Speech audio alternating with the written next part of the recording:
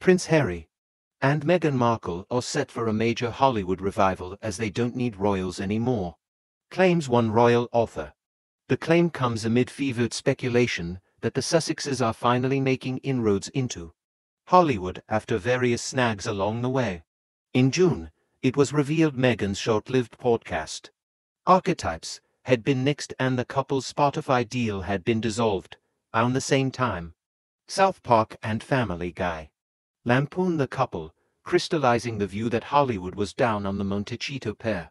It's now being said that Harry and Meghan are inundated with offers from Tinseltown. So, what should one believe? Royal author Clive Irving comes down more on the side of it's true rather than false. He explained, I think it's true. They don't need the royals anymore. They have got their own business and brand established. They don't need to bother with the royals anymore. This transition has been a long time coming. Harry and Meghan stepped down as working royals in 2020 to pursue a career outside of the monarchy.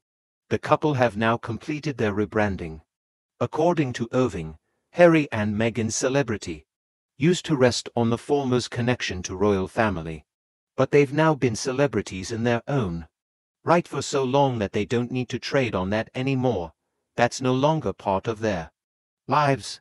Indeed, it is now being reported that they've recently had a wave of offers coming in from Hollywood.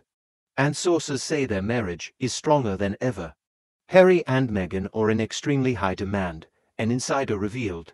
The source claims the pair is being requested for speaking engagements, business collaborations and entertainment gigs.